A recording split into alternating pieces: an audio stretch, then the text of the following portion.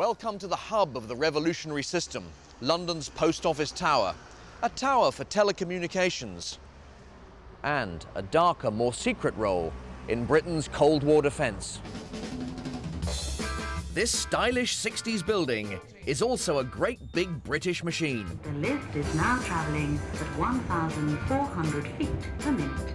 At 188 metres, it was the tallest building in London at the time.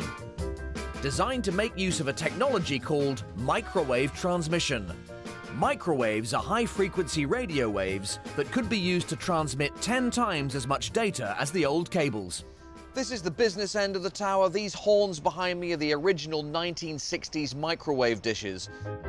They sent out microwave signals to other towers roughly 25 miles away, which could beam the signals on across a network of 130 relay stations around the country. This entire network was monitored from inside the post office tower, down on floor 14.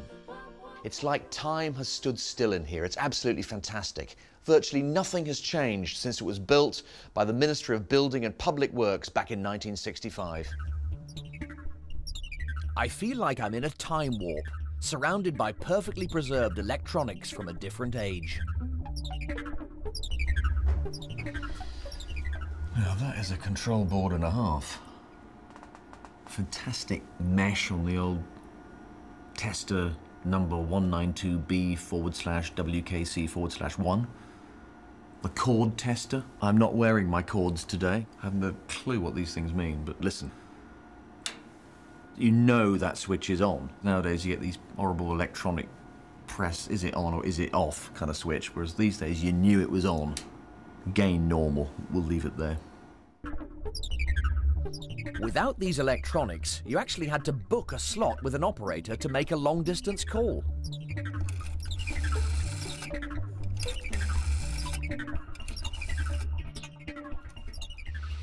Do you know, there are many sounds that conjure up the past, and that to me is certainly one of the sounds of the 60s.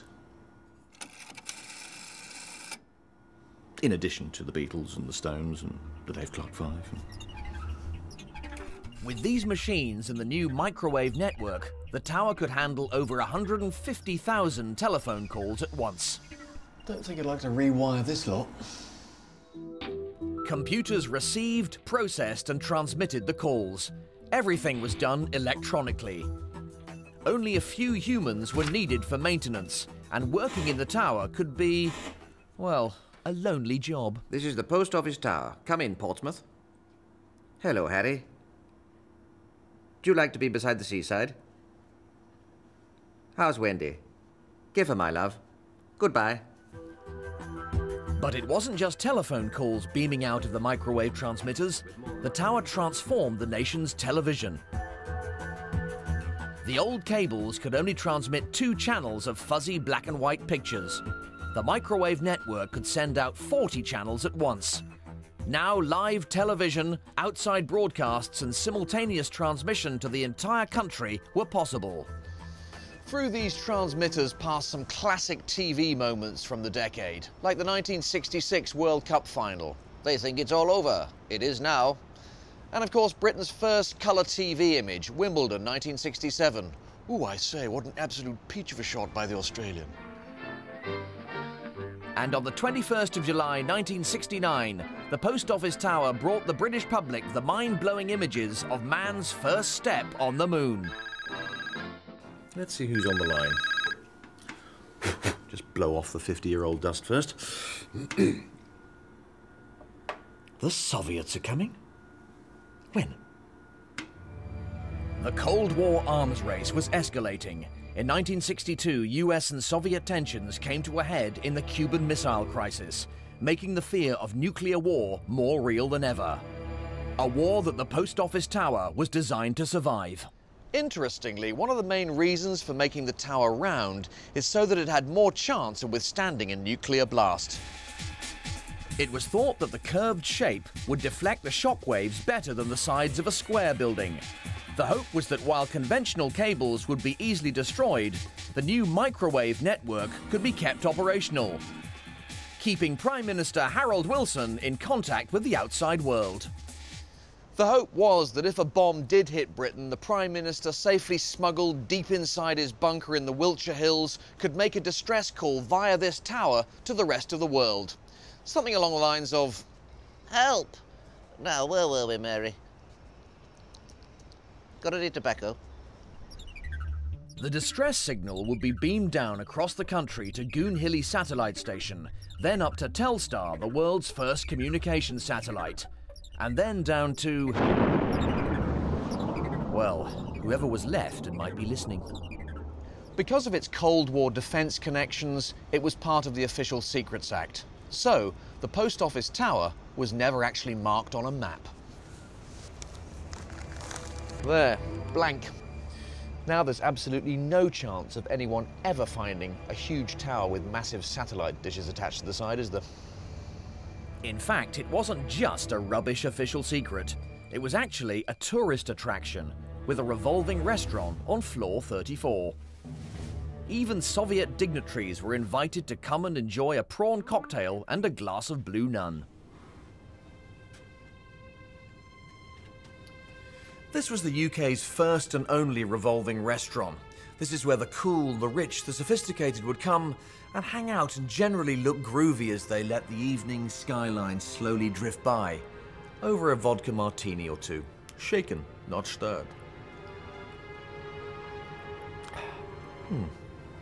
Over four and a half million people flocked to the Butlins owned restaurant to get a taste of the high life, including the leading stars of the day.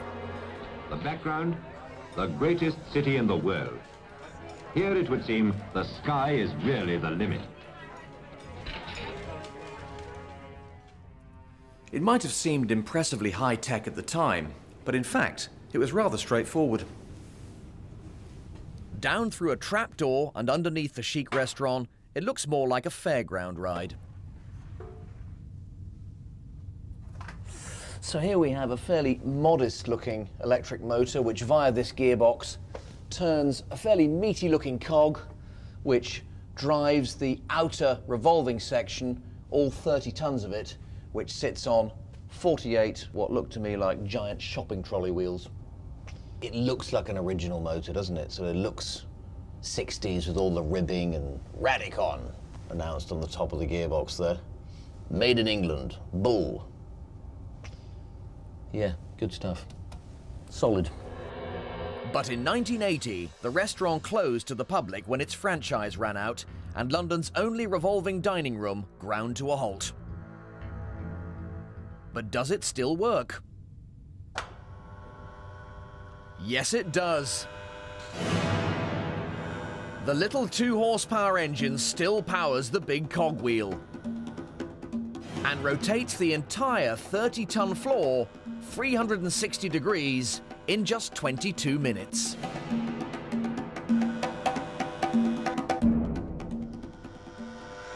Ah. Ah. now where's my cocktail? The spinning restaurant was the icing on the cake of a truly revolutionary Great British Machine.